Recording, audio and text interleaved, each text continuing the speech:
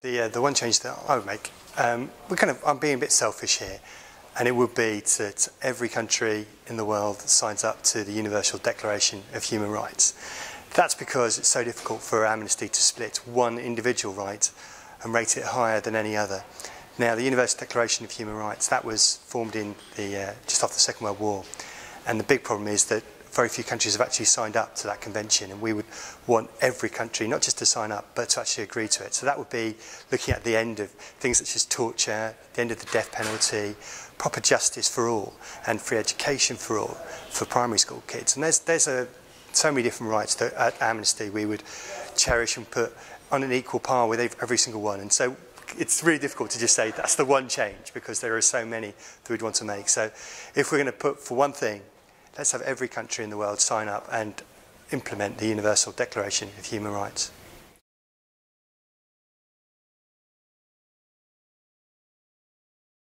I think the big thing for us would be that would be seeing people start to realise that they have rights and responsibilities in their lives and that there are so many different issues that are still happening across the world. You have the issue of torture, you have illegal detention camps in far too many countries such as Afghanistan, in North Korea, in Sri Lanka and all those sort of things need to be fundamentally addressed and to split that away from other rights such as the for the freedom of expression when you see people being persecuted for their own opinions, most notably across the Middle East right now, and also in places like China.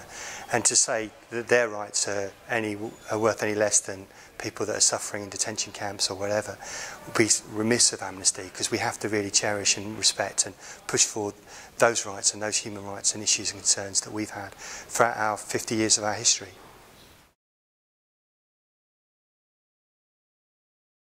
The big change really would be looking at individuals and realising that they actually have much more power than you think.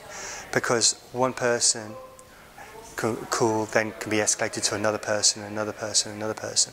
And that can make a huge difference and really can make governments change their ways and their opinions. Amnesty was formed in 1961 by an appeal for to, to get two Portuguese prisoners of conscience released. And it was the weight of people that came in and supported and recognised that call that made a difference and got those two people released ultimately.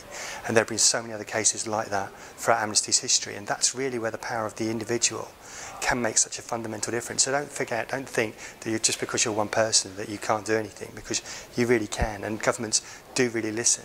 And we've heard of cases in people in countries such as Burma where there have been people made a, appeal for people to write to the prison to ask for their release or for them to stop being tortured.